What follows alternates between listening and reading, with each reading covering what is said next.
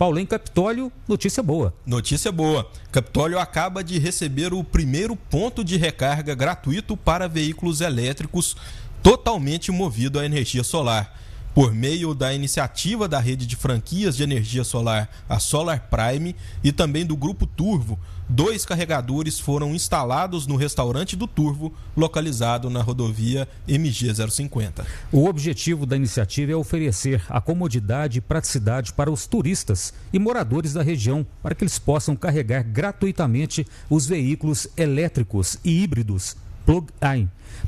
Para para o dono do restaurante do Turvo, a ideia é suprir não só a demanda dos moradores da cidade, mas proporcionar aos turistas uma comodidade e algo que possa beneficiar o meio ambiente, contribuindo para diminuição na emissão de poluentes. Bem, o modelo de carregador instalado no restaurante, ele tem tempo de carregamento total bem ágil se comparado a uma recarga comum, dependendo do tipo de bateria de cada veículo.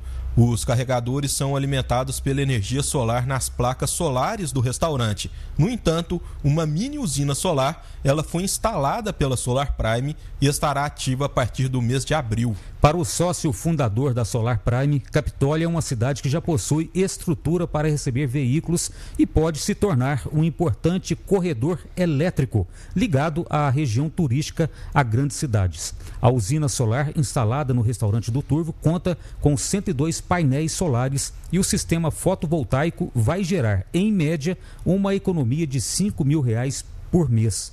Parabéns aí o empresário Luiz, lá do restaurante do Turvo, por mais essa iniciativa ali em Capitólio, movimentando o turismo, né? dando essa possibilidade para a, o abastecimento elétrico de turistas e também de capitolinos que têm esse tipo de veículo ali naquela região. Parabéns.